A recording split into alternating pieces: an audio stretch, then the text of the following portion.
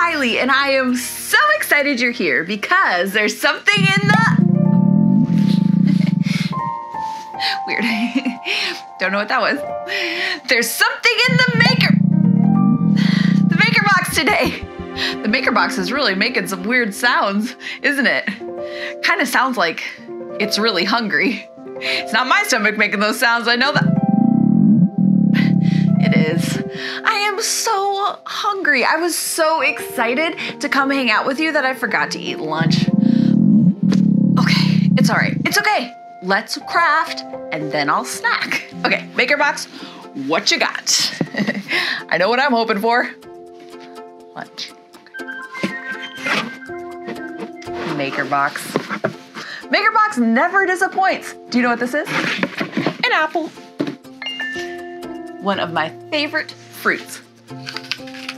Mm. Okay. I think I'm definitely going to have better art today because I fueled up. Mm-hmm, mm-hmm. Wow. Have you ever really looked at an apple? They're so beautiful. Have you ever looked inside an apple? Do you want to?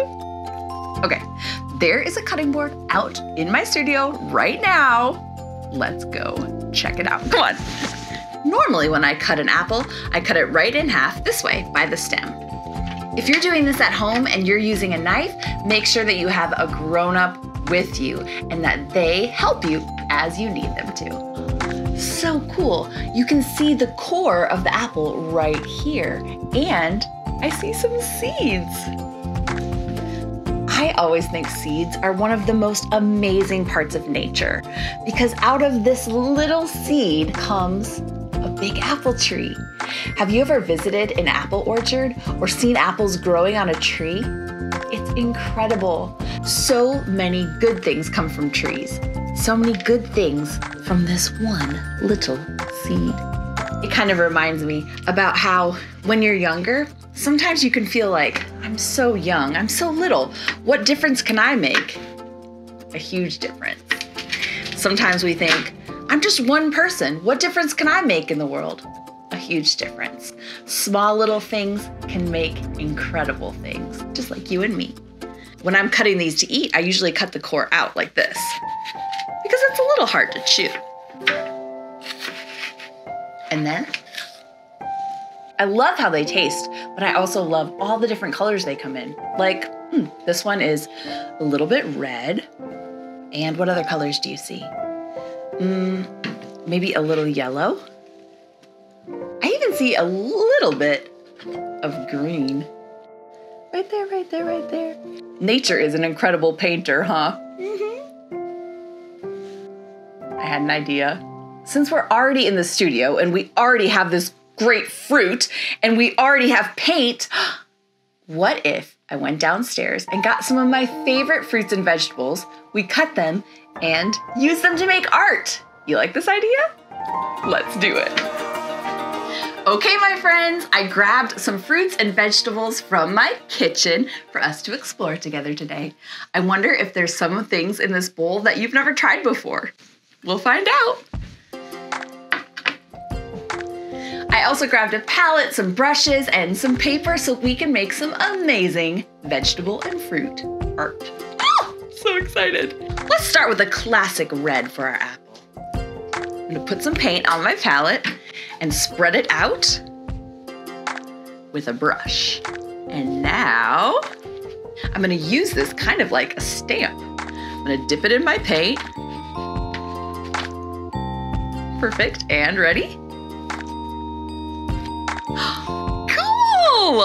I wonder what will happen if I don't load it up again with paint, but just make another print right now.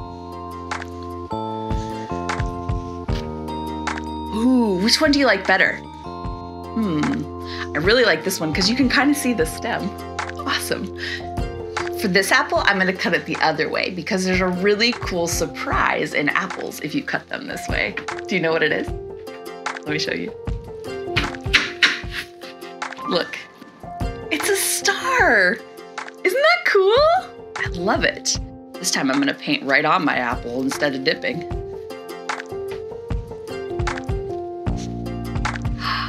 Okay, okay.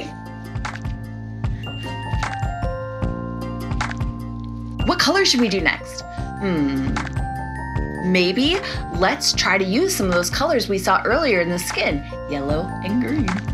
Did a little bit of research on a lot of the fruits and vegetables that we're going to be using today, and I learned so much. Plants are fascinating. Some people describe fruit as the part of the plant that's made out of the flower.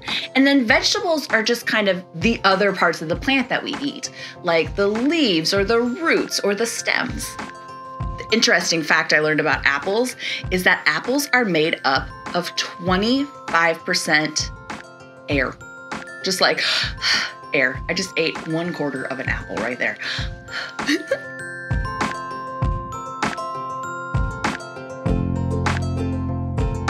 I could do this all day, but we have other fruits and vegetables to explore. Mm, I love this apple art. Hmm, what should we pick next? Do you know what this is? This is called celery. Celery grows in the ground kind of like this. So basically, the part of the plant that we're eating when we eat celery is the stem. Do you like eating celery? Mmm. When we take celery apart, and when you chew it too, you might notice these long, stringy parts of celery. They're a little hard to chew sometimes. These are called Parenchyma. Yeah, that's right, parenchyma. Kind of fun to say. These are just long, strong strings of cells that form to help plants that are like this stand up straight. It's kind of like the spine in your back. They help this not be all floppy.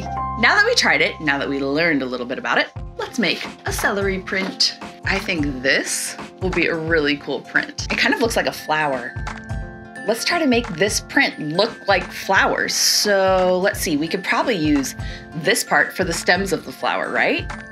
Let's do it.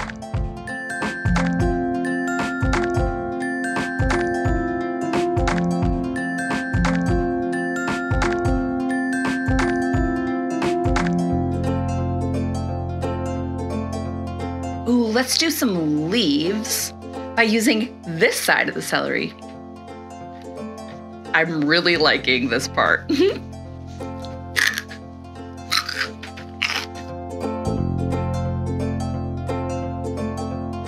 Excuse my snack. Time for the flowers. It's amazing.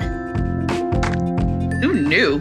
You could paint a whole flower scene by using one plant.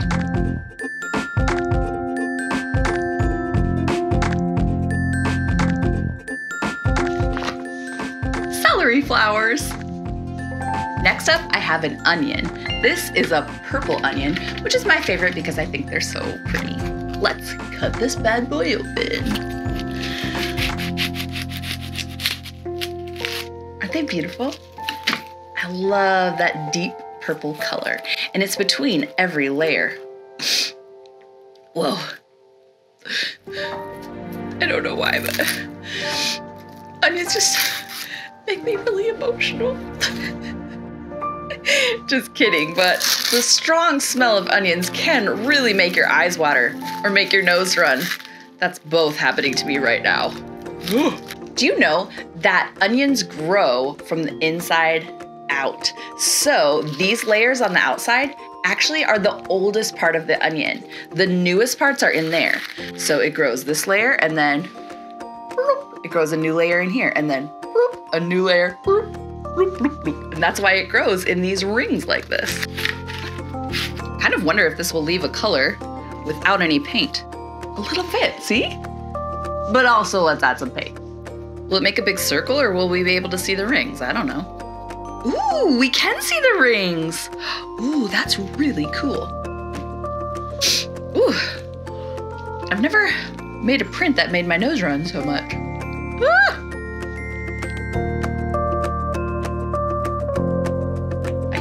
That's just a circle with this.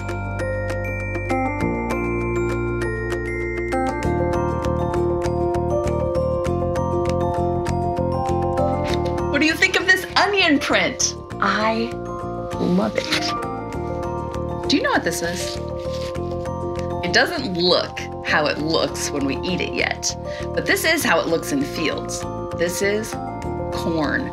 Corn grows on tall stalks, and when you pick the stalks, they come with this, which is called the husk. When we open it up, we're gonna start to see these little strings. You see them? These are kind of like pollen straws. I bet you never thought of them that way before. But when this husk is up, all those kernels can't get pollinated. But guess what's hanging out the top? All these strings. There is a string for each kernel of corn on every ear of corn. The strings are attached to each kernel. So pollinators can come get pollen on these little strings, and then the kernel can suck it up inside the husk. It can stay nice and safe, but still gets everything it needs to become this delicious ear of corn.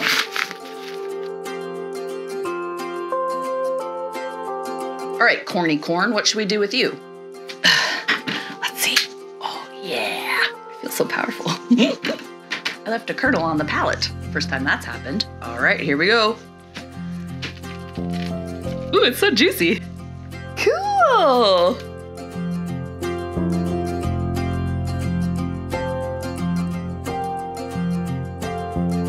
Spreading that out, and I'm gonna give this a little roll. Here we go. Oh, it's as cool as I was hoping it would be.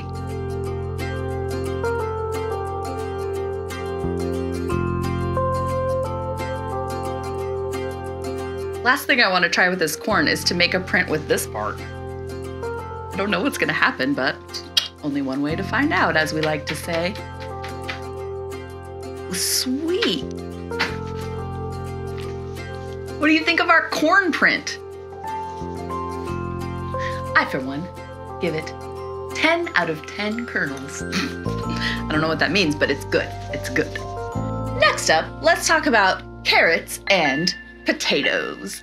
These are awesome vegetables that are so interesting because when they grow, they grow underground. This part of the plant that we eat is the root of the plant. So when you look out at a field of carrots or a field of potatoes, you just see the green part. You have to judge by the green part when these are ready to pull up and eat or paint with.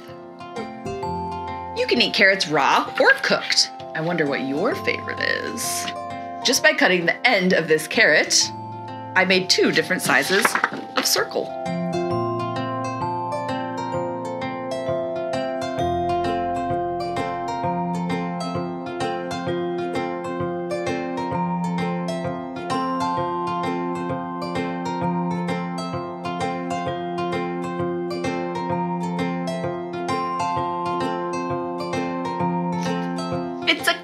Star! A good old potato, the world's most popular vegetable, but not necessarily always known for its beauty. Today, it all changes for you, potato. This will be an oval, because it already is. And we'll make this one a square. And, oh, we need a nice triangle. Let's keep going. We'll do a pentagon next, five sides.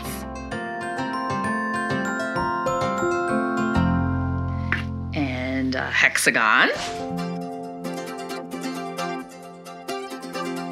Not perfect, but super fun. And I'm gonna go with an octagon.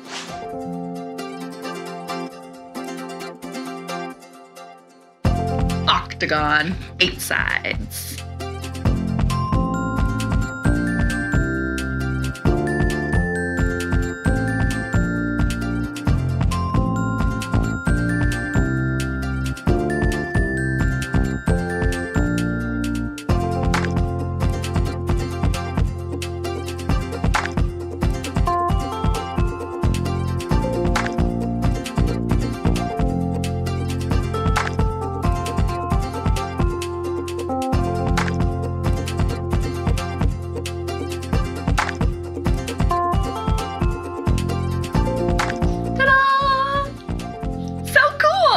Do you have a favorite shape? Favorite color? Favorite fruit or vegetable? Oh man, you can make a whole print just with favorites. This is one of my favorite vegetables ever. It's called a bell pepper. It comes in some different colors, green, yellow, orange, red. And what's interesting about these plants is all of those colors come from the same plant. The only thing that's different about them besides their color is how long they stayed on the vine, how ripe they are. The green got picked the soonest, and so they're less sweet. And then all the way to the red, they stayed on the plant the longest, so they're the sweetest. I love this pepper, it's unique. Let's make some prints.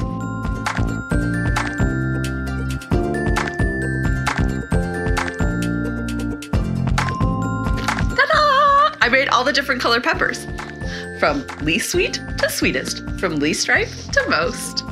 It also kind of reminds me of like a vegetable stoplight. Green pepper, go.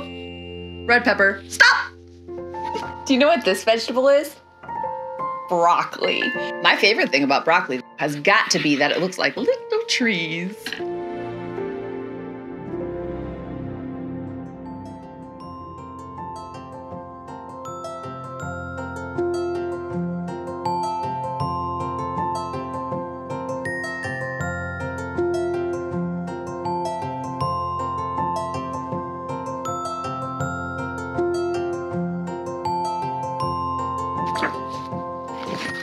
Last thing I found in my fridge, which I thought was both delicious and beautiful for art making today, strawberries. One of my all-time favorites. I think they're beautiful and delicious. I love growing them. I grow them in my yard every year, even though the rabbits and chipmunks mostly are the ones who eat them. Let's see how they are to make a print out of. Strawberries are unique because unlike most fruits, they keep their seeds on the outside of themselves, which I also think will make for a really great and interesting print. Strawberry, I knew you'd be a great artist. It's making an amazing texture. Thank you so much for making all this amazing art with me today. Do you have a favorite? My favorite thing about making it was hanging out with you. But my second favorite thing was not just that we came up with some very cool prints, but that we tried new things. I love that about art. Trying new things in art and being brave about it helps us realize that we can try new things everywhere in our lives and be brave about that too. If it works, great. If it doesn't, we learn. If we like a new food, awesome. If we don't, now we know. We can try it again another time. I love hanging out with you. If you want to make more things like this with me, just search for Kylee Makes It. K Y L E E. That's me. And I'll see you soon.